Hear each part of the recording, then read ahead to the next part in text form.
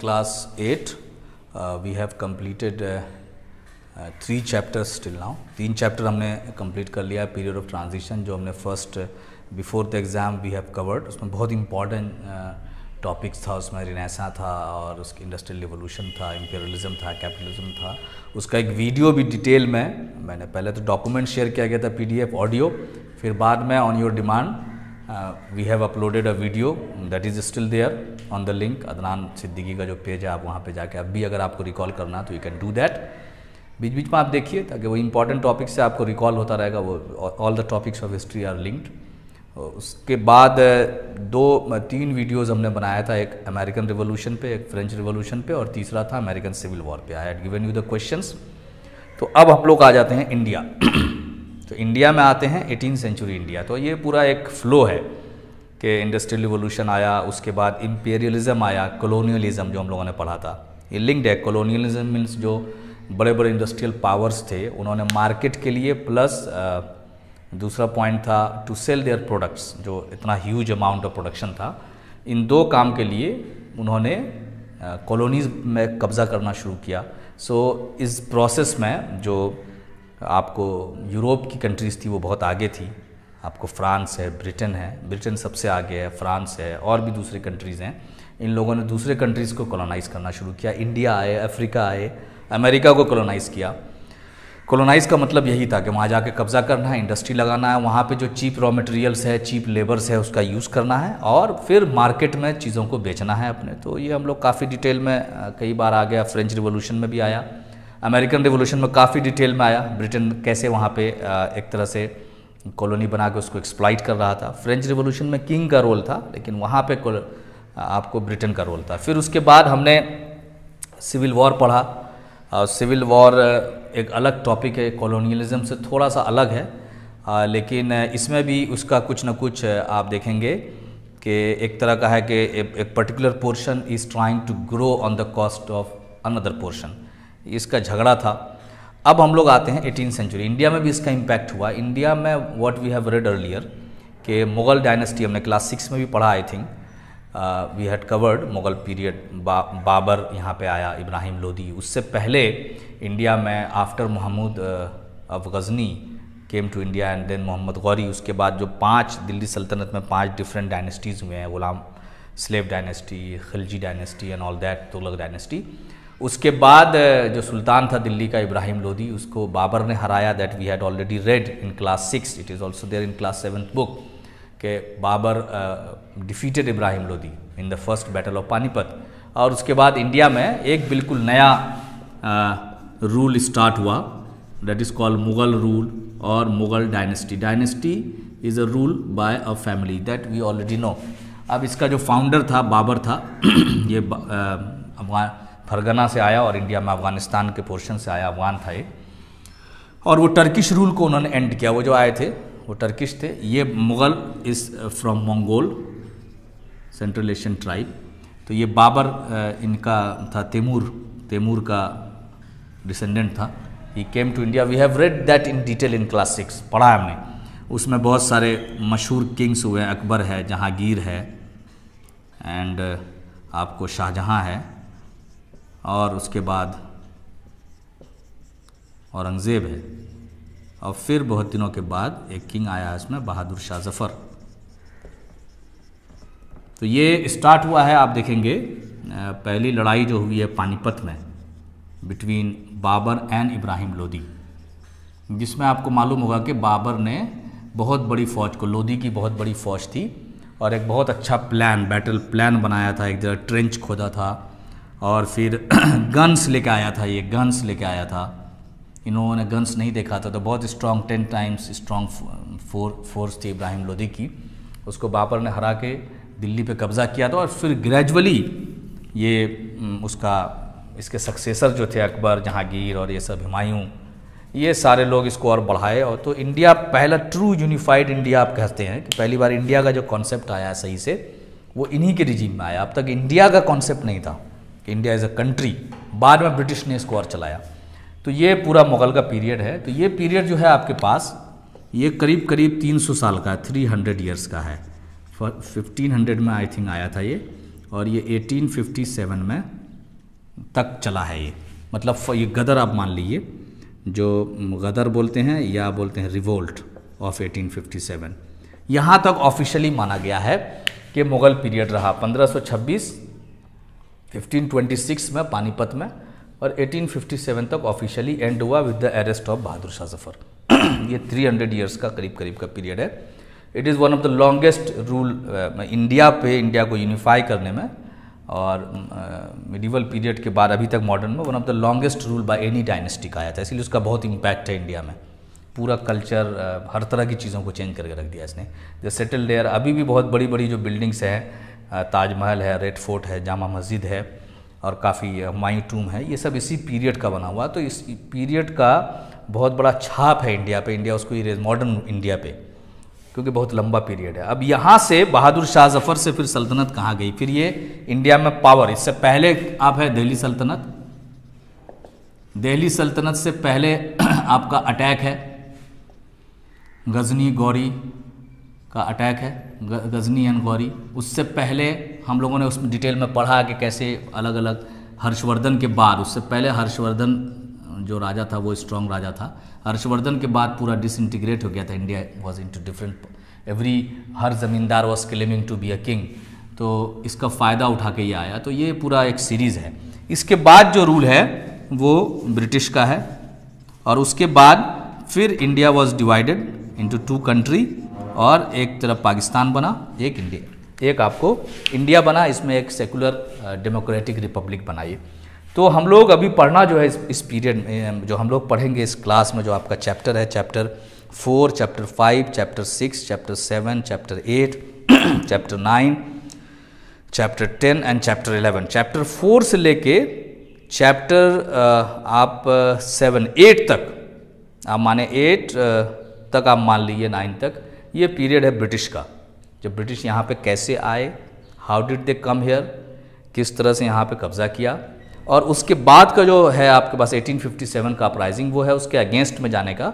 And finally आपको the march to freedom है that is chapter number 11 इसमें आप बताया गया है कि कैसे फिर इंडिया में इंडियंस आए। तो ये मार्च टू फ्रीडम जो है 1947 uh, में एंड ऑल दैट इसमें इम्पैक्ट है आपको फ्रेंच रिवोल्यूशन का और अमेरिकन रिवोल्यूशन का। वहाँ से इंस्पायर्ड है ये। तो ये आपको वर्ल्ड हिस्ट्री से ही आपको जोड़ता है। कनेक्शंस आप देख लीजिए सेंट्रल एशिया से इधर से आ रहे हैं। यहाँ पे एक दिल्ली सल्तनत है, फिर मुगल डायनेस्टी है, उसके बाद ब्रिटिश आए हैं। ब्रिटिश क्यों आए हैं? क्योंकि इंडस्ट्रियल रिवोल्यूशन आ गया, ये आपके फ़र्स्ट यूनिट से लिंक्ड है। इनको कॉलोनीज चाहिए मार्केट चाहिए। India was a huge market और उसके बाद ब्रिटिश ने, क्योंकि प्रॉफिट मेकिंग कैपिटलिज्म आ गया वहाँ पे प्रॉफिट मेकिंग वॉज़ द इनिश मेन इंटरेस्ट जिसकी वजह से इंडिया में एक्सप्लाइटेशन शुरू किया इन्होंने, जिसके वजह से यहाँ के लोगों ने अपोज करना शुरू किया which ultimately led to India's struggle for independence जिसमें महात्मा गांधी जवाहरलाल नेहरू, मौलाना आज़ाद शाकुल हिंद बहुत सारे लोग थे, और उन्होंने कुर्बानियाँ दी। यू मस्ट हैव रेड हम लोग 15 अगस्त मनाते हैं 1947 की याद में and India became a republic India was divided into two countries after in seventies it was divided into three India Pakistan Bangla Indian subcontinent अब आप देखेंगे जो आपका प्रिस्टीन पीरियड है मतलब मुग़ल डायनेस्टी का जो पीरियड है, अब्राहम, इब्राहिम लोदी, बाबर भी एक मुस्लिम किंग को ही हरा के आया था दिल्ली सल्तनत में, लोदी डायनेस्टी का ये था लास्ट किंग तो इब्राहिम लोदी के बाद जो बाबर आया है, बाबर से लेके ये जो औरंगज़ेब तक ये जो चार पाँच किंग हैं, बाबर, जहांगीर हुमायूं, अकबर, जहांगीर, शाहजहां, औरंगज़ेब, ये जो चार पाँच किंग हैं। ये किंग जो हैं आपके, बहुत फ़ेमस किंग माने जाते हैं। किसी का रिजीम अकबर के बारे में आपने पढ़ा है, पचास साल तक के आसपास बहुत दिन रूल किया, औरंगज़ेब ने बहुत दिन रूल किया। ये आपका जो पीरियड है, अकबर का जो पीरियड है, वो लिबरल पीरियड कहा जाता है लिबरल किंग था ये। और शाहजहाँ जो था, ये बहुत क्वालिफाइड था, बहुत पढ़ा लिखा था। अकबर बिल्कुल जाहिल था, पढ़ा लिखा नहीं था। जाहिल आप नहीं कह सकते हैं वॉज़ अनलेटर्ड लेकिन जाहिल किसको जिसको स्किल नहीं है, बहुत स्किल था सुपर ह्यूमन मेमोरी था, बहुत अच्छे से रूल को चलाया, एक नया सिस्टम डेवलप किया। और शाहजहाँ के टाइम में जो मुग़ल पीरियड का जो प्रिस्टीन ग्लोरी आप कह सकते हैं, ताजमहल बनाना टैक्सेशन सिस्टम बहुत अच्छी फॉर्म मतलब अपना बेस्ट फॉर्म में जो बेस्ट प्रेजेंटेशन दे रहा था Mughal dynasty that is the period of Shah Jahan. उसके बाद आपका आ जाता है औरंगज़ेब का पीरियड औरंगज़ेब के पीरियड में हिंदुस्तान सबसे बड़ा है। सबसे, Aurangzeb was the son of Shah Jahan. ये आप देखिए इंडिया जो मुग़ल एम्पायर का मैप है, आप देखिए ये कश्मीर है, और ये आपका इंडिया का मैप, अभी का जो प्रेजेंट डे इंडिया है। तो ये आप देखिएगा रफली मैप है। तो इधर आपका हो गया अफ़गानिस्तान का, पाकिस्तान का पोर्शन है, इससे थोड़ी दूर अफ़गानिस्तान का पोर्शन है ये ये पोर्शन है। तो आप, अगर आप देखेंगे कि औरंगज़ेब के टाइम में कितना बड़ा इंडिया है तो आप समझ लीजिए कि ये पूरा है। सिर्फ़ यहाँ थोड़ा सा पोर्शन को छोड़ दिए नॉर्थ ईस्ट को। इतना पोर्शन पे, पाकिस्तान, अफ़गानिस्तान का पोर्शन और ये। This whole portion was under the control of one king आप सोचिए कितना बड़ा है। साउथ से लेके नॉर्थ वेस्ट और यहाँ तक, ये पूरा एक किंगडम में आता है। That was the largest India could ever become इससे बड़ा इंडिया फिर नहीं बना। मतलब आज़ादी के बाद भी हुआ तो ये पोर्शन अलग हो गया। ये पोर्शन यहाँ पे बांग्लादेश का पोर्शन है, इसमें भी कुछ पोर्शन था आपको, बंगाल का पोर्शन था। ऐसा मिला हुआ था, जो बांग्लादेश बन गया। ये बांग्लादेश बन गया। कश्मीर में कुछ पोर्शन अभी पाकिस्तान में, कुछ चाइना में चला गया है। देर सब पोर्शन तो इंडिया जितना बड़ा हो सकता था, वो इतना बड़ा बना। That was in the regime of Aurangzeb तो ये आपका उसका शाइनिंग पीरियड है। उसके बाद उसमें जो है, आपके बुक में जो है एटीन सेंचुरी इंडिया यहाँ पे एटीन सेंचुरी में इसमें डाउनफॉल होना शुरू किया। ये जो एम्पायर था, ये जो आपका डायनेस्टी था इट स्टार्टेड डिग्रेडिंग ये ख़त्म होना शुरू हुआ। ख़त्म कोई भी चीज़ कैसे होता है? ख़त्म इस तरह से होता है कि जो आपका स्ट्रेंथ था, आप अपने स्ट्रेंथ को छोड़ के किसी और काम में लग जाएँ तो धीरे धीरे आपका जहन उससे बटेगा। जैसे आप पढ़ाई आपका मेन काम है और आपने कुछ और में इंटरेस्ट लेना शुरू किया तो आपको पता नहीं चलेगा। You might be a topper student आपको पता नहीं चलेगा over the over months over some days धीरे धीरे आपका इंटरेस्ट खत्म होते होते होते होते एक दिन आपको पता चलेगा कि आप बिल्कुल कहाँ थे और कहाँ ज़मीन पे आके गिर गए। ये धीरे धीरे होता है, जैसे वेस्टर्न रोमन एम्पायर क्रम्बल कर गया धीरे धीरे पता ही नहीं चला, अंदर से घून लगता जा रहा था। एक्चुअली जो पॉइंट उसको स्ट्रेंथ दे रहा था, उसको छोड़ के दूसरे पॉइंट पे काम करना शुरू किया। मुगल जो पीरियड था, पहले हम लोग देख लेते उसका स्ट्रेंथ क्या था। कैसे वो इतना दिन तक रूल कर पाया इंडिया में? उसका बहुत सारा स्ट्रेंथ था। और उस स्ट्रेंथ में जहाँ जहाँ गड़बड़ी हुई India was a Hindu predominantly Hindu society उसमें एक वॉरियर कास्ट था, जिसको बोलते हैं राजपूत अभी भी है राजपूत तो मुगल का स्ट्रेंथ क्या था? तो मुगल का स्ट्रेंथ दो से है। एक तो when they came they came with modern weapons उस टाइम में जीता जो था जंग गन नहीं देखा था यहाँ के लोगों ने। और बाबर क्या लेके आया था? गन मोस्ट सोफिस्ट इंडिया में पहली बार गन लेके आया था बाबर। तो मोस्ट सोफिस्टिकेटेड वीपन्स हो गया लेके आया था। तो हथियार थे इसके पास। इंडिया में आने के बाद इन्होंने कोलिशन बनाया राजपूत से। आपने पढ़ा होगा, राजपूत से इनका झगड़ा है, राणा सांगा से, राणा प्रताप से, इनकी लड़ाई हुई है। You must have read those two wars उसके बावजूद आपने ये भी पढ़ा है कि राजा बिहारी मल से इसकी दोस्ती थी। ये भी पढ़ा है कि इनका जो अकबर का जो था वो मानसिंह था। राजपूत राजाओं से इनका बहुत अच्छा कॉलिशन था। तो पहला है मॉडर्न वीपन्स आप देख लीजिए, इसका एक जो भी बेस्ट वीपन्स था, हथियार था वो था। स्ट्रेटजी बहुत बढ़िया थी। आपने बाबर की स्ट्रेटजी देखी होगी। कितने अच्छे से इन्होंने कितना अच्छा जनरल था ये। तो मॉडर्न वॉर वेपन्स था मॉडर्न स्ट्रेटजी थी। बहुत ही वेल डेवलप था, बहुत बहादुर था ये सब इसका ये था। और दूसरा था कि इंडिया आने के बाद जब इंडिया से लोग भागे नहीं, गौरी की तरह, गजनी की तरह they did not run away they stayed here like any member of the Delhi Saltanat उसी की तरह ये रहे। तो यहाँ पे कॉल्यूशन डेवलप किया इन्होंने। यहाँ के जो अपर में, क्षत्रिय थे, पंडित थे, इन लोगों से इनका कॉल्यूशन इनसे क्लैश कोर्स पे नहीं आए। तो अकबर भी सबको लेके चला। मतलब उसने तो एक नया दिन ही लॉन्च कर दिया था। सबको लेके कॉम्पोजिट कल्चर लिबरल आइडियाज़ हर तरह के लोगों को सुनना। तो ये राजपूत कॉलिशन राजपूत के इंटरनल मामले में वो इंटरफेयर नहीं करते थे, हिंदुओं के मामले में। अपर कास्ट के मामले में इंटरफेयर सोशल लेवल पर नहीं करते थे इंटरफेरेंस तो इस तरह से एक था उसमें शादियाँ होंगी राजपूत से तो इनको इन्होंने राजपूत को और बहुत सारे जो अपर कास्ट थे हिंदुओं में, उसको ये मिला के रखा इन्होंने. तीसरा इनका था बहुत अच्छा स्ट्रेंथ कि टैक्सेशन सिस्टम वगैरह बहुत अच्छा था इनका. और उसके बाद एक बहुत इंपॉर्टेंट चीज़ था, जो आप कह सकते हैं मनसबदारी या जागीरदारी, थोड़ा सा अलग है दोनों मिला के पढ़ सकते हैं कि मनसब मीन्स पोस्ट पोजीशन हमने पढ़ा था ये, कि ये क्या करते थे कि जो नोबल्स थे, जैसे राजपूत हैं, ये हैं, और भी बहुत सारे नवाब्स हैं, सबको एक पोस्ट देते थे। जैसे आप अभी पॉलिटिकल पार्टीज़ देती है ना, सबको पोस्ट आप जिला अध्यक्ष हैं, आप फला हैं, आप डिस्ट्रिक्ट हेड हैं, आप डिस्ट्रिक्ट सब हेड हैं डिस्ट्रिक्ट डिप्टी हेड हैं, ताकि उसको लगे कि he should feel the importance of is joining that party तो ये क्या करते थे? मनसब देते थे तो ऑफ़िस के, आप मुग़ल दरबार से आप जुड़े हुए हैं। तो मनसब सिर्फ़ ऐसे ही नहीं देते थे। मनसब देने के बाद ये देते थे कि आप जागीर देते थे इनको कुछ। जागीर मतलब होता है जैसे लोग आमतौर पर स्लैंग यूज़ करते हैं कि तुम्हारे बाप की जागीर है क्या? जागीर मतलब होता है पीस ऑफ़ लैंड जहाँ से आप टैक्स ले पाएँ। तो कहते थे क्या कि ये एरिया जो है टैक्स ये एरिया तुम्हारा है, इससे जो भी आपको प्रोडक्ट आएगा, जो भी प्रोड्यूस आएगा, वो उसका तुम रख रख लेना उसको। उससे जो टैक्स आएगा, वो सरकारी खजाने में नहीं जाएगा। तो जागीर दे दिया इन्होंने मनसबदार को। मनसबदार का काम क्या था? इसको फौज मेंटेन करना था अपनी। ग्रुप ऑफ़ सोल्जर्स मेंटेन करना था। लड़ाई होती थी तो सब मिलकर आकर लड़ते थे एक साथ। तो इसको था कि आपको कुछ मेंटेन करना है, खर्चा कहाँ से आएगा? जागीरदार, जागीर आपको दे देंगे, वहाँ से जो टैक्सेशन आएगा, वो लेके आप उसको यूज़ करना, अपना भी खर्चा चलाना और सोल्जर्स को भी पालना। और जब हम लोग लड़ाई होगी किसी बाहर के से तो आप सारे मनसबदार जो हैं, अपने पास जितने सोल्जर्स हैं, सबको लेकर आएँगे। थोड़े थोड़े सोल्जर्स को सबको मेंटेन करना होता था, इसलिए अच्छा मेंटेनेंस हो पाएगा ट्रेनिंग अच्छी हो पाएगी।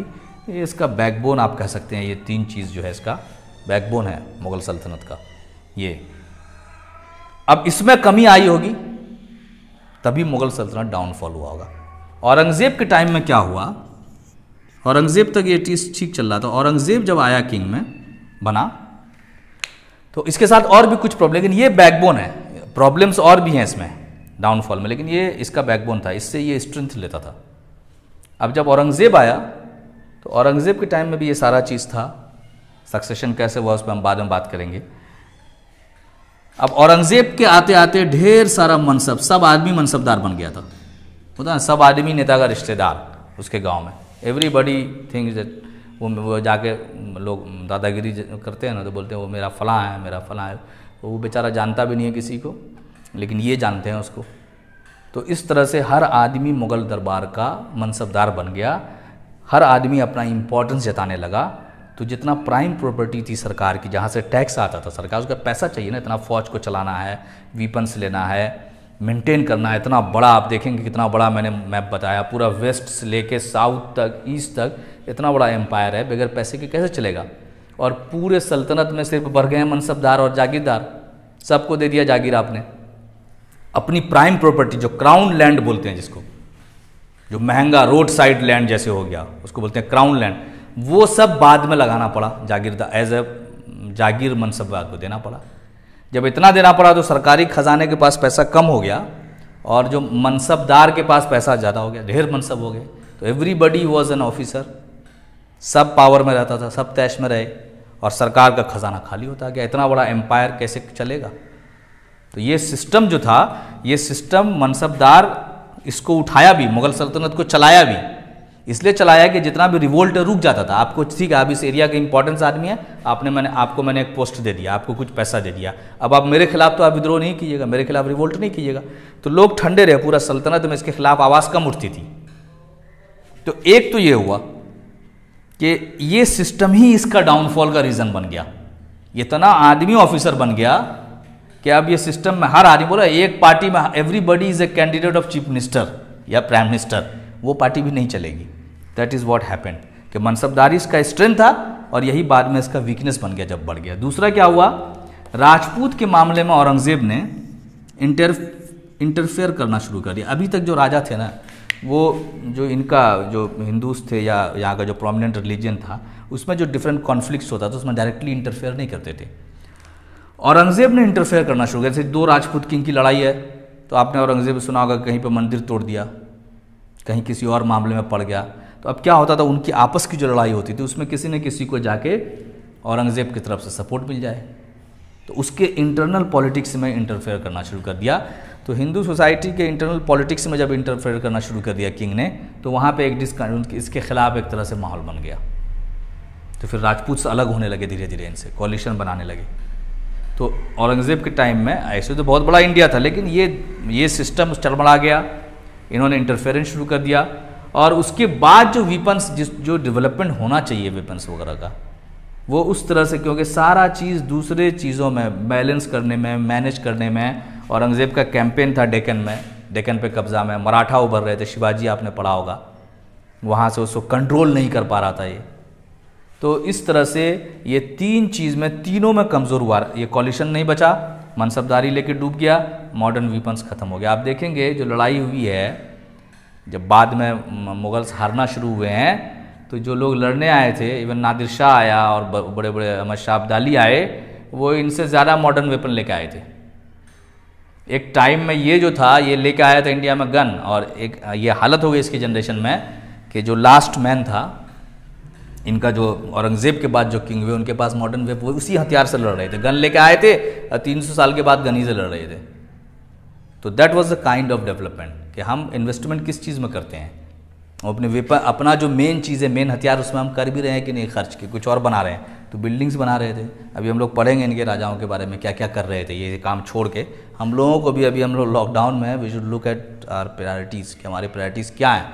नहीं तो इसी तरह क्रम्बल करेंगे, हमको पता भी नहीं चलेगा कि ऊपर से नीचे धड़ाम से कैसे गिर गए तो ये तीन चीज़ था, ये इसमें दिया हुआ है। इस जो चैप्टर है, इसमें दो चीज़ है आपको दिया हुआ। एक तो ये है कि मुगल्स कैसे डाउनफॉल हुआ, एक पार्ट ये है। दूसरा पार्ट है कि रीजनल पावर्स का। तो अभी इस वीडियो में मैं डाउनफॉल अब कवर कर दे रहा हूँ। तो लास्ट जो इंपॉर्टेंट किंग है, मुगल डायनेस्टी का डेट इज़ औरंगज़ेब। ठीक? ये इंपॉर्टेंट किंग है, आप समझ लीजिए। यहाँ समझ लीजिए कि औरंगज़ेब के रिजीम तक मुग़ल डायनेस्टी एक्चुअल में मुग़ल रूल रहा है, मुग़ल किंगडम रहा है, मुग़ल एम्पायर रहा है। इसके मरने के बाद ऑफिशियली नहीं इनऑफिशियली मुग़ल एम्पायर समझिए कि एंड हो गया था। और एक टाइम आया था, शाह आलम या क्या नाम है शाह आलम टू के टाइम में 1759 में एक फ़ारसी का बहुत बड़ा बहुत इम्पोर्टेंट शेर चला था, सल्तनत शाह आलम, सल्तनत शाह आलम, अज दिल्ली तापालम। अज मतलब होता है पर्शियन में से फ्रॉम ता मतलब होता है टिल। दिल्ली जाइएगा, दिल्ली में पालम एयरपोर्ट है मतलब शहर में ही छोटी सी जगह है। दिल्ली बोलते थे शाहजहानाबाद को, जो जामा मस्जिद के आसपास का एरिया है ना, उसको दिल्ली बोलते थे। वे जामा मस्जिद, लाल किला के आसपास का, पुरानी दिल्ली जो है, वो एक्चुअली में दिल्ली थी। और उससे थोड़ा सा इधर आइएगा आप तो पालम है, पालम एयरपोर्ट भी वहाँ पर तो बोलते थे कि ये जो मुग़ल एम्पायर जो ऐसे रूल करता था, कहाँ रूल करता था, आप देख लीजिए। ये रूल था उसका, ये। इधर से लेके इधर से सब जगह लेके यहाँ से लेके ऐसे कल के रूल है। इतना बड़ा रूल है ना? और इसी में एक बादशाह हुआ है शाह आलम टू उसके पढ़ेंगे। डिग्रेडेशन कितना हुआ है? औरंगज़ेब के मरने के कुछ दिन के बाद कि पर, पर्शियन में एक फ़ेमस शेर लिख दिया गया इसके में सल्तनत शाह आलम अज दिल्ली ता पालम। यहाँ पे दिल्ली है इसी में पालम है। ये इतना बड़ा एम्पायर बन के रह गया था ये। इसी इसमें हुआ था। सल्तनत शाह आलम अज दिल्ली ता पालम तो औरंगज़ेब के बाद जो किंग्स आए हैं ना, वो एक्चुअली में समझिए कि मुगल एम्पायर को हैंडल नहीं करे छोटा छोटा एरिया है। कई तो मराठा के बहुत दिन तक तो मराठा के भरोसे रहे। एक किंग तो मराठाओं ने बनाया था, अपना, अपने लिए बनाया था। मुगल किंग था, लेकिन मराठाओं ने उसको बैठाया था वहाँ पर उसको हटा के ब्रिटिश ने नया बैठा दिया। तो इतनी बुरी हालत भी हुई, पेशवा और मराठा लोगों ने मिलकर वहाँ तक दिल्ली तक कब्जा कर लिया था। तो इतनी बुरी हालत भी हुई इसी की। और फिर अरेस्ट हुआ। और एक जगह है दिल्ली में, खूनी दरवाज़ा, जब आप जाइएगा तो विज़िट कीजिएगा। वहाँ पे फिर इसके लास्ट किंग के बेटे को मारा भी गया। तो इसके बाद जो है इफेक्टिवली यहाँ पे ख़त्म हो गया रूल इसके बाद जो है वो नाम चल रहा है। तो नाम भी चला तो सौ डेढ़ सौ साल, क्योंकि इतना बड़ा एम्पायर था, इतना ताकतवर एम्पायर था, कि ख़त्म होते होते भी सौ डेढ़ सौ साल लग गए इसको पूरा, निस्त नाबूद होते हुए। और निस्त नाबूद होते हुए जो औरंगज़ेब के बाद कोई इम्पोर्टेंट किंग नहीं आया। इसीलिए इस पीरियड को बोलते हैं लेटर मुगल्स। जैसे ड्वार्फ स्टार वो बोलते हैं ना प्लानट हम लोग। तो इसी तरह हम लोगों ने लेटर लगा दिया मतलब इतनी बेजती मुगल, इसको मुगल बोल के बेजती मत करो मुगल सल्तनत की। मतलब पालम में आज दिल्ली था पालम को बोलोगे मुगल एम्पायर मतलब अररिया से बरगाछी मतलब आप बोल दिया Araria empire that is what happen तो सो वी हिस्टोरियंस ने यहाँ तक की बेजती ना हो, इसलिए इसका नाम रख दिया लेटर मुगल्स। तो लेटर मुगल्स का आपके पास तो लेटर मुगल्स क्यों बोले? आप समझ गए कि इफेक्टिवली यहीं तक चला है। अभी हम लोग डिस्कस करेंगे कि पॉलिसी यहाँ पे क्या क्या गड़बड़ हुई। क्या प्रॉब्लम्स क्या क्या था मुगल डायनेस्टी में, जो इसको अल्टीमेटली लेकर डूब गया। और डूबता ही है। आप इब्न खलदून का पढ़ोगे तो उसमें है कि एक चौथा जनरेशन में आते आते डायनेस्टी जो है, दम तोड़ने लगती है। कोई भी डायनेस्टी है पूरी दुनिया में हिस्ट्री में उठा के देखेंगे। फोर्थ जनरेशन आते आते। ये तो फिर भी लंबा खिंच गया। दम तोड़ती है। तो अब लेटर मुगल्स में कौन कौन से हैं? तो लेटर मुगल्स में आपको यहाँ पे छः नाम दिया गया, बहुत इंपॉर्टेंट मैं शॉर्ट में लिख देता हूँ। एक है बहादुर शाह। ये वन है, ये बहादुर शाह जफ़र वाला नहीं है। उसके बाद आपका है जहांदार शाह। ठीक है? उसके बाद है फारूक शाह ठीक है? और उसके बाद आपका फोर्थ नंबर में है मोहम्मद शाह, और इसका अच्छा नाम भी है एक। मोहम्मद शाह रंगीले भी बोलते हैं इसको। और उसके बाद है शाह आलम टू। और उसके बाद सिक्स नंबर पे आ जाएँगे बहादुर शाह जफ़र, जिसके बारे में आपने सुना होगा, ये ये किंग कम थे, शायर ज़्यादा थे, और बाय डिफ़ॉल्ट ये लीडर बन गए थे, नहीं चाहते हुए भी 1857 के रिवोल्ट के लीडर ये बन गए थे। इन्हों, इनको लोगों ने ज़बरदस्ती बना दिया था, ये नहीं चाह रहे थे। तो इनके, वो एक होती है, हड्डी गले में फंस जाती ना उधर जाती ना इधर। तो यही हो गया था इनके साथ। ये बेचारा शायर आदमी, बूढ़ा आदमी, ये बैठ के शेर शायरी करता था। ये आदमी जो है, बहुत फ़ेमस हुआ है, मोहम्मद शाह। इसने पूरा मुग़ल के कल्चर को उलट दिया। और ऐसा उल्टा के लोग अभी तक, हम लोगों के जनरेशन के मतलब हम लोग से पहले के जनरेशन के लोग, मोहम्मद शाह के कल्चर को बोलने लगे मुग़ल कल्चर। ये जो आप वेस्ट क्लासिकल म्यूज़िक देखते हैं, उस तरह का डांस देखते हैं डांस फॉर्म्स और उर्दू शायरी में शराब, पैमाना, इस टाइप के वर्ड देखते हैं।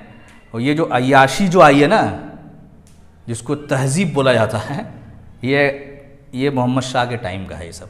इसको बोला जाता है कि बहुत बड़े बड़े आर्टिस्ट को इन्होंने पेट्रोनाइज़ किया। तो वैसे ही आर्टिस्ट को पेट्रोनाइज़ किया डांसर्स को पेट्रोनाइज़ किया इन्होंने उस टाइम में। उस टाइप के म्यूजिशियंस को पैटर्नाइज किया। मतलब इसका नाम था रंगीला। तो ये, इसको दुनिया जहान से मतलब नहीं था। इतनी सी सल्तनत थी, दिल्ली था पालम, और उसमें बैठ के शेर व शायरी की महफिल जमाता था। मिर्ज़ा गालिब का नाम सुना है। मिर्ज़ा गालिब जो हैं वो तो बहादुर शाह के टाइम में आए। यहाँ से समझिए कि उर्दू का, उर्दू जो बनी है आपकी, उर्दू लैंग्वेज यहीं समझिए डेवलप हो रही है, इसी के टाइम से ही। तो तो पहले भी लोग आते थे, ऐसा नहीं था, दरबार लगता था तो पहले भी डांसर्स आते थे म्यूजिशियंस आते थे आर्टिस्ट आते थे, लेकिन मुग़ल सल्तनत में मतलब एक छोटा सा होता ना सीसीए का उतना बस उसका इंपॉर्टेंस था, जैसे सी होता ना, पढ़ाई में थोड़ा सा हो, उसको सेंट्रल रोल नहीं था। ये मोहम्मद शाह के टाइम में बाकी सारा चीज़ पीछे चला गया, जो विपन्स है, जो जंग है, जो पॉलिटिक्स है, जो डिप्लोमेसी है, जो एक्चुअली किंग किंग को करना चाहिए, वो सारी चीज़ पीछे चली गई, और ये जो इंटरटेनमेंट वाला पार्ट था ये जिसको तहजीब बोलते हैं, वो इतना झुक के आना, झुक के सलाम करना, बोलने में नज़ाकत एंड ऑल दैट ये सब यहाँ पे स्टार्ट हो गया। पूरा आप देख रहे हैं कि जिस तरह से डायनेस्टी उठी थी, उसका ठीक अपोजिट काम यहाँ होना शुरू किया था। एक अपोजिट काम उससे पहले फारूक शार ने भी किया। इसने क्या किया? गोल्डन फरमान बहुत इंपॉर्टेंट है, आप पढ़िएगा। जहांगीर के दरबार में भी ब्रिटेन ब्रिटिश आए थे। भगा दिया था उन्होंने। औरंगज़ेब के भी दरबार में आए थे तो पता नहीं, नीचे नाक अड़गड़वा दिया था ब्रिटिश का। इस तरह से परेशान किया था। लेकिन वही जब यहाँ फारूक श्यार के दरबार में आए तो ये इतना मजबूर हो गया था कि गोल्डन फरमान जारी किया। गोल्डन फरमान क्या था कि आप ट्रेड कीजिए, आपसे कोई ड्यूटी नहीं लिया जाएगा। बंगाल का फ्री में दे दिया पूरा। बगैर पैसे का कुछ तीन हज़ार या कितना पता नहीं बांधा। वो भी पता नहीं उन्होंने दिया कि नहीं दिया। इतने में आप लोग फ्री ट्रेड करो, यहाँ पे ट्रेड के लिए आए थे। तो ब्रिटिश के सामने ये झुक गए, क्योंकि ताकत ही नहीं बची थी। ताकत रहेगी तब तो आप रोकिएगा। तो ये बहादुर शाह है, जहांदार शाह है, फारूक सियार है, मोहम्मद शाह है, शाह आलम टू है और बहादुर शाह ज़फ़र ये छः है, और भी हैं इसमें, लेकिन ये मेन आपको नाम दिया हुआ है, इसको हम लोग बोलते हैं लेटर मुगल्स। तो ये आपके बुक में भी दिया हुआ है लेटर मुगल्स। तो अब इसमें यहाँ पर एक आदमी है, दो दो भाई हैं, इसको बोलते हैं सैयद ब्रदर्स। इस टाइम में एक चीज़ बहुत फ़ेमस हुआ था किंग मेकर ये लोग खुद किंग तो नहीं थे, लेकिन किंग मेकर बोला जाता था इनको। ये लोग बादशाह बनाते थे, बादशाह को गिराते थे। मतलब एक्चुअली में बादशाह जो बनता था, वो अपने मन से नहीं चलाता था सल्तनत को। ये सैयद ब्रदर्स चलाते थे। ये बहुत ज़्यादा इन्फ्लुएंस था इनका सिस्टम पे। तो इसके वजह से ये लोग चलाते थे और जो उसके अंडर में काम नहीं करता था, उसको मरवा भी देते थे। तो they were called the king mapper Sayyid brothers आपको बुक में भी दिया हुआ है, आप देखिएगा, इनका बहुत ज़्यादा इन्फ्लुएंस है इस पर मतलब सल्तनत को, नाम तो मुगल सल्तनत का था, लेकिन चला रहे थे ये लोग साइड मैन तो ये आपको हो गया। और इसमें इंपॉर्टेंट क्या है?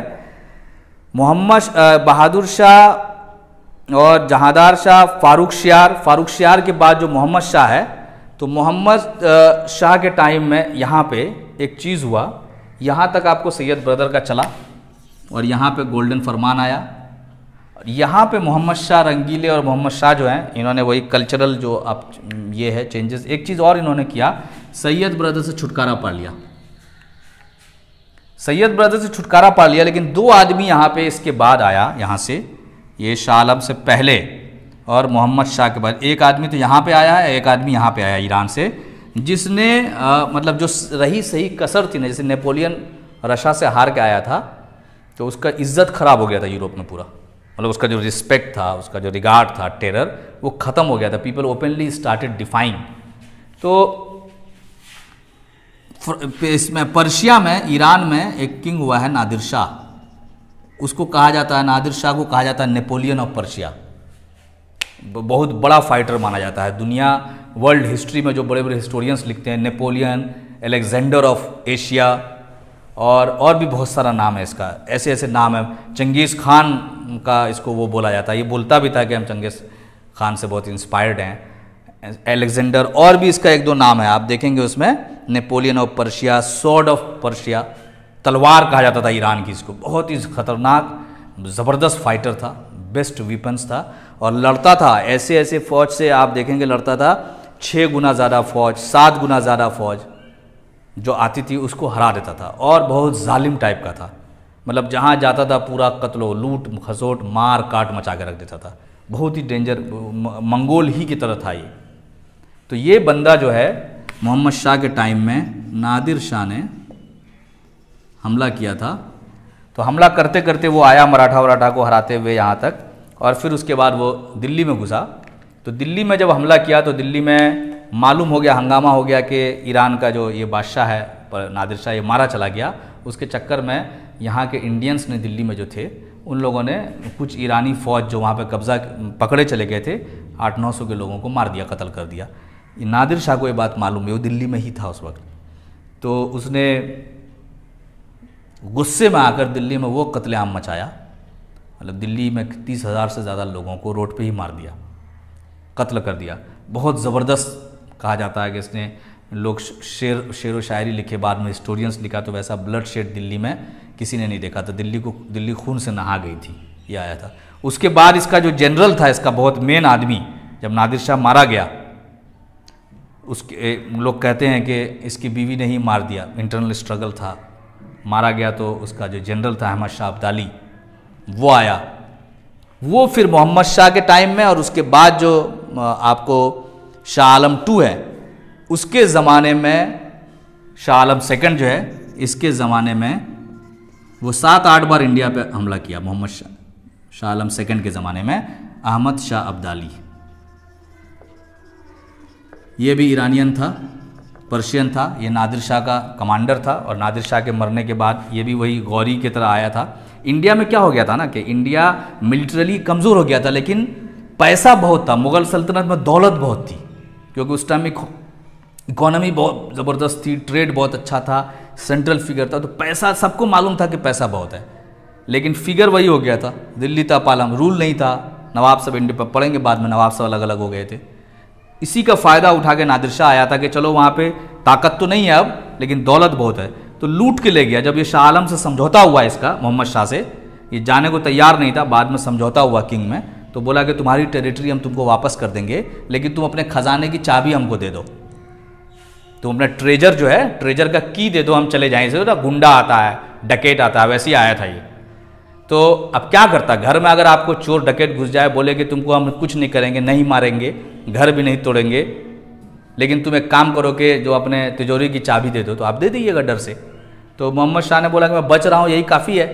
बोला, लो तिजोरी का, तिजोरी से जितना खजाना था, लोग बोलते हैं कि कितने सौ घोड़े पे, कितने हाथी ऊँट पे मतलब इतना बड़ा काफिला नहीं देखा था दिल्ली ने, इतना लूट कर ले गया था नादिर शाह। और वो जो क्राउन था जो ग्वालियर आपको मालूम है, आगरा में जो मिला था कोहिनूर, वहाँ के जो राजपूत ने दिया था, वो कोहिनूर को चुरा के, कोहिनूर मतलब बोला पहाड़ मतलब नूर का पहाड़ that was one of the biggest diamond चुरा के क्या, वो लेकर गया, छीन के, निकाला, बोला मैं लेके जा रहा हूँ, ठीक है, लेके चला गया वो, ईरान चला गया, फिर वहाँ से वो बाद में ब्रिटेन पहुँचा।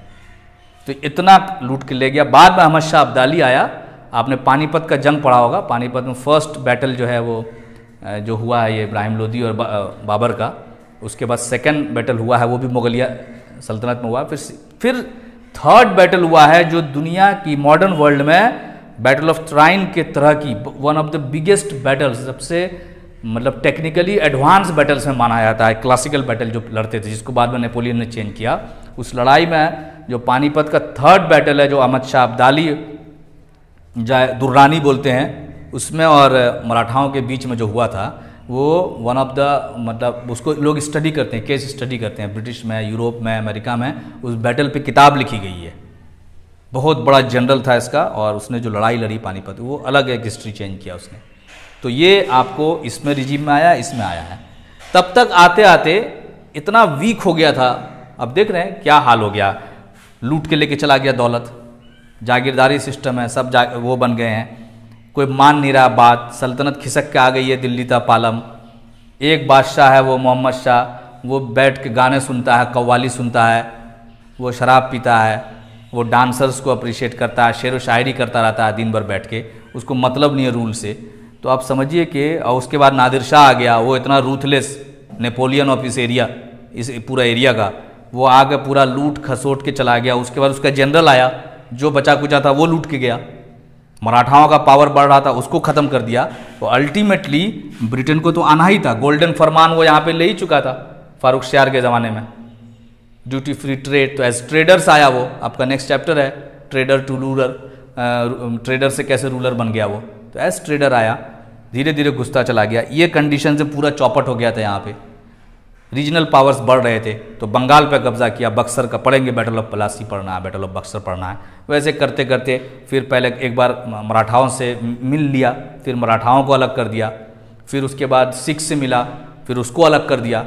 इस तरह से डिवाइड एंड रूल करते करते धीरे धीरे पूरा इंडिया पे लास्ट उसको जो था, वो टीपू सुल्तान था, उसको भी हराया, उसका कब्जा उसका कंप्लीट हो गया। उसके बाद फिर आप पढ़ेंगे, एटीन अब ये जो इससे पहले आप गत जो लास्ट किंग है इसका, वो है बहादुर शाह ज़फ़र। बहादुर शाह ज़फ़र जो था, ये किंग नहीं था, ये वही था। एक महल था, एक महल का मालिक है घर का मकान मालिक था ये बस। अभी तो एम्पायर तो ख़त्म हो गया था, अब नाम चलता था। जब 1857 में जो यहाँ पे विद्रोह हुआ, जब सिपाहियों ने, मंगल पांडे और इन लोगों ने मिलकर जब विद्रोह किया तो बहुत सारे लोग थे, आप लोग पढ़ेंगे Tatya Tope and all that तब ये ज़बरदस्ती इनके घर पे पहुँच गए वहाँ पे और बोला कि भाई आप बन जाइए। तैयार नहीं था। इसको डर था कि भाई अंग्रेज़ हमको मार देगा। इसके सामने अंग्रेज़ों को मार दिया। महल में जो कैद थे, उनको मारा उन लोगों ने। सारा इल्ज़ाम इन पर आ गया। और रिलेक्टेंटली ये नहीं चाहते हुए भी इनको रिवोल्यूशन का हेड बनाया गया, जिसको बोलते हैं कि आज़ादी की लड़ाई को लीड किया। ऐसा लीड अपने मन से कुछ लीड नहीं किया। इसके पास बूढ़ा हो गया था बेचारा। ताकत ही नहीं थी कुछ। इसके पास फौज नहीं थी। ये जो सारे लोग थे नवाबों ने और जितने राजा महाराजा थे ना, उन्होंने इसको हिट किया था क्योंकि नाम अभी भी चलता था। इंडिया के लोग हैं ना, अभी भी मुगल डायनेस्टी से एसोसिएट करते थे यहाँ के कॉमन लोग। उनको लगा कि इसके चक्कर में यूनाइट कर देंगे हम और ब्रिटेन को हरा देंगे। लेकिन ब्रिटेन हारा नहीं 1857 का हम लोग पढ़ेंगे क्या हुआ ultimately he was arrested he was put in prison यहाँ से बर्मा लेके गया ले जाया गया। इनके बेटे थे, उसको इन्होंने क्लेम कर दिया कि किंग बन जाएगा, इनकी माँ, इनकी वाइफ वगैरह ने। तो उसको दिल्ली में खूनी दरवाज़ा है, वहाँ पे अंग्रेज़ों ने मार दिया और लोग कहते हैं कि नाश्ता जब मांगा तो उसके बेटे का सर ला के दिया। उसके बाद से बहादुर शाह की तबीयत ख़राब होने लगी। रंगून में अरेस्ट हुआ, बर्मा में अभी वहीं पर खबर है इनका। मनमोहन सिंह जो थे प्राइम मिनिस्टर वहाँ पर गए थे, मज़ार है। और बहुत बड़ा अभी उर्दू में इनका नाम एज ए शायर, सूफ़ी माना जाता है, सूफ़ी किंग भी कहा जाता है इसको। सूफ़ी मतलब इनको भी रूल वगैरह, लड़ाई वगैरह, ये सबसे कोई मतलब नहीं था। ये शायरी करते थे। वो एक बहुत फ़ेमस शेर, है इनका कितना बदनसीब है ज़फ़र। दो गज़ मरने पे दो गज़ ज़मी भी ना मिली कुएँ यार में। अपने मतलब इतना बड़ा एम्पायर चलाने वाला 300 साल तक जिसको पूरे हिंदुस्तान पे जिसका एक बहुत बड़े पोर्शन पे जिस फैमिली का की हुकूमत रही है अफ़गानिस्तान से लेके यहाँ नॉर्थ डेकन तक उस आदमी का जो लास्ट किंग मरा है उसको वहाँ उस एरिया में जगह नहीं मिली दफनाने के लिए। दैट इज़ वॉट हैपन्स अब डाउनफॉल आप देखिए कितना ज़बरदस्त है।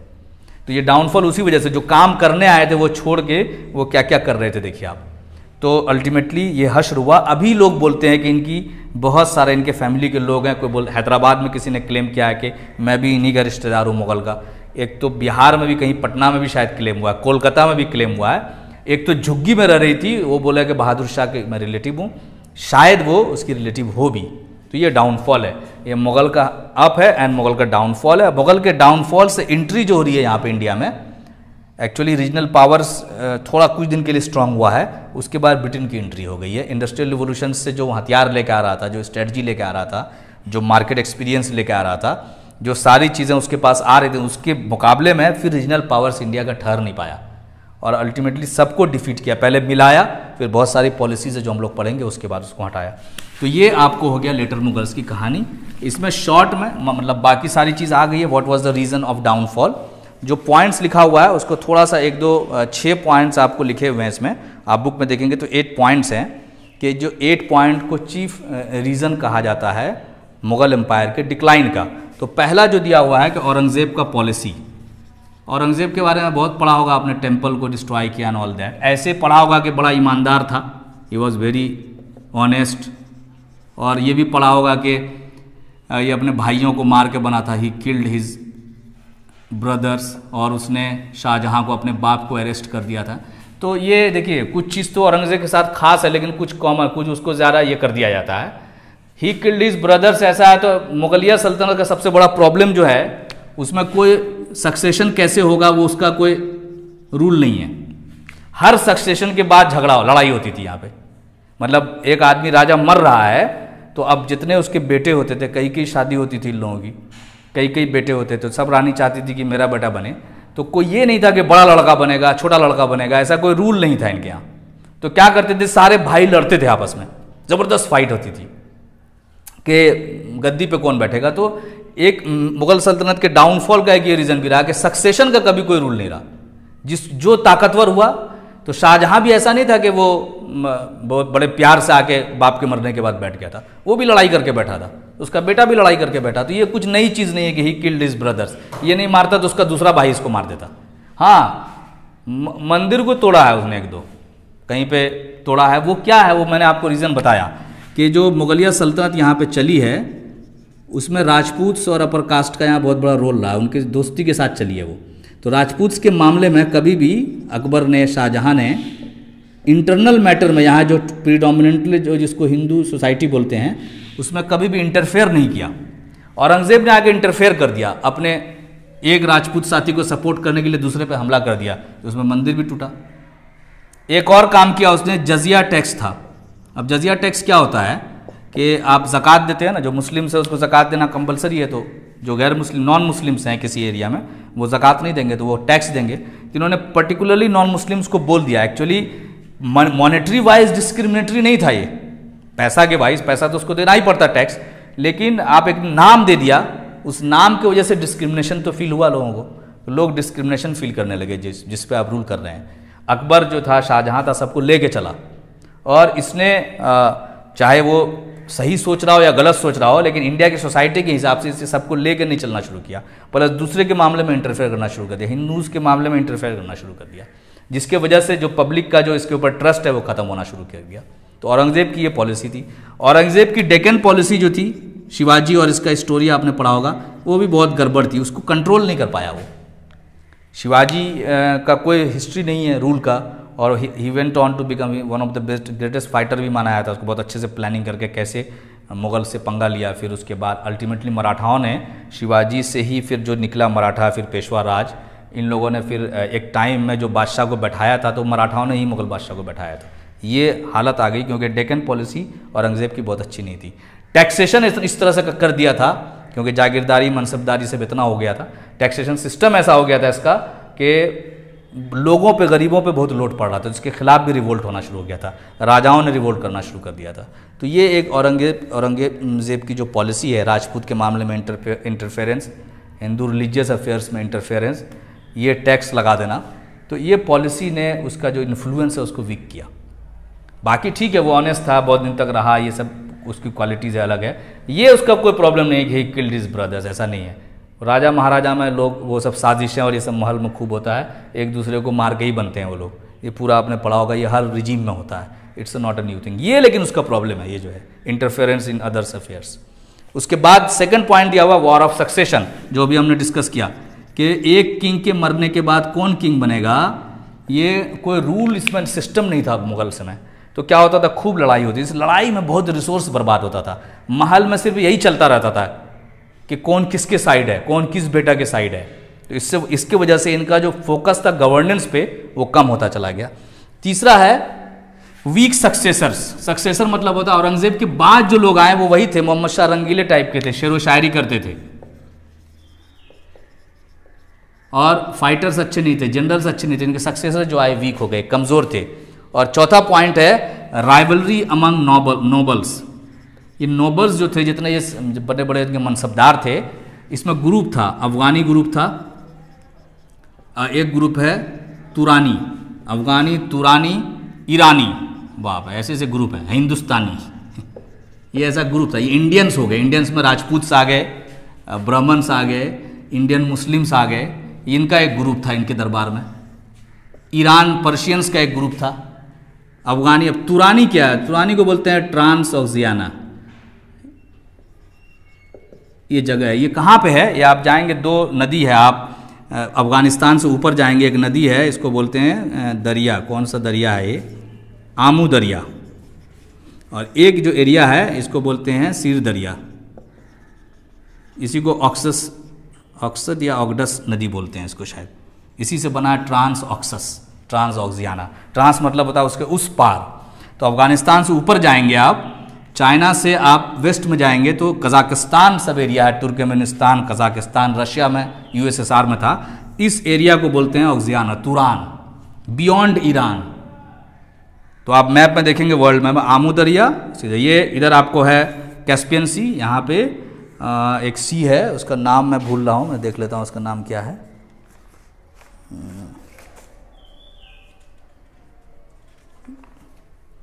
हम्म एरल सी है, कोई सी है, उसमें जाके ही मिलता है। तो ये दो एरिया जो है ना, इसको बोलते थे ऑक्सस नदी, और इसी को अंग्रेज़ों ने नाम दिया ट्रांस। ट्रांस मतलब होता है उसके आगे, जैसे ट्रांस हिमालय आपने पढ़ा है। तो ये आमू दरिया और इसके बीच में जो जगह वो ये कजाकिस्तान, तुर्कमेनिस्तान, यहाँ के जो एरिया थे, कजाक्स वगैरह, इन, ये भी थे यहाँ पे, मुगल दरबार में। इनका अलग ग्रुप था, अफगानी का अलग ग्रुप था, ये सेंट्रल एशियन, ईरानी का अलग ग्रुप था, सबका अलग, ईरान यहाँ पे हो गया। तो सबका अलग अलग ग्रुप था और ये सारे लोग एक दूसरे के खिलाफ करते रहते थे। हिंदुस्तानी जो ग्रुप था, वो चाहता था कि हमारा रहे बोलबाला। तो एक दूसरे के खिलाफ खूब साजिश चलती रहती थी महल में। तो एक तो ये हो गया कि नोबल्स आपस में खूब करते थे। तीस, चौ, पांचवा था आपका कि मनसबदारी सिस्टम कैसे लेके डूबा, ये पहले बता चुका हूँ, इसलिए मैं रिपीट नहीं करूँगा।